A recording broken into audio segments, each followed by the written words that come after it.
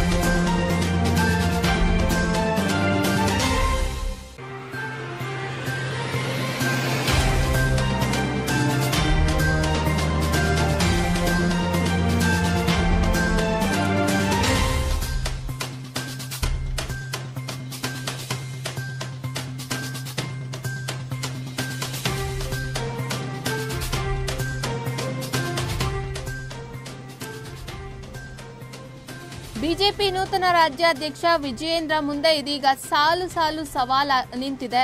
ಸೋತ ಬಿಜೆಪಿ ಮುಖಂಡರನ್ನ ಕಾರ್ಯನಿರತಗೊಳಿಸುವಂತಹ ಜವಾಬ್ದಾರಿ ಈಗ ಅವ್ರ ಮೇಲಿದೆ.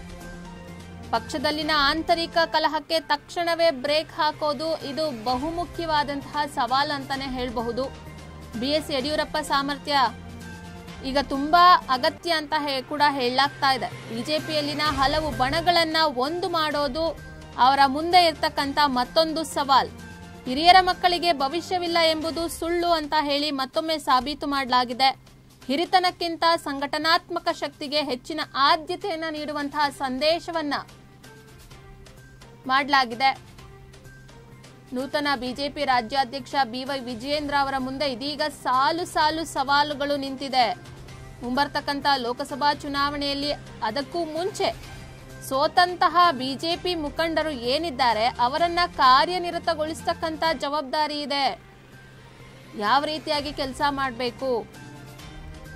ಲೋಕಸಭಾ ಚುನಾವಣೆಗೆ ಇಪ್ಪತ್ತೆಂಟು ಸ್ಥಾನಗಳನ್ನ ಗೆದ್ದು ಕೊಡಬೇಕು ಇಪ್ಪತ್ತೆಂಟಕ್ಕೆ ಇಪ್ಪತ್ತೆಂಟು ಸ್ಥಾನಗಳನ್ನ ಗೆಲ್ಲಬೇಕು ಪಕ್ಷದ ಗೆಲುವಿಗೆ ತಂತ್ರಗಾರಿಕೆಗಳ ಅಳವಡಿಕೆ ಅಗತ್ಯ ಇದೆ ಇಲ್ಲಿ.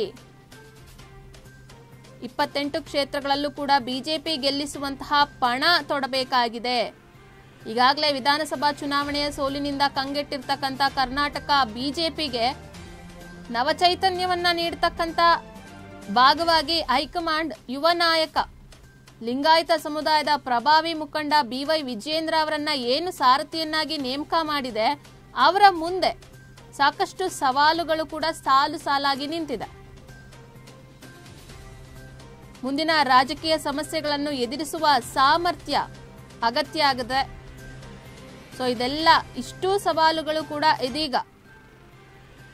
ನೂತನ ರಾಜ್ಯಾಧ್ಯಕ್ಷ ವಿಜಯೇಂದ್ರ ಅವರ ಮುಂದೆ ಇರ್ತಕ್ಕಂಥದ್ದು.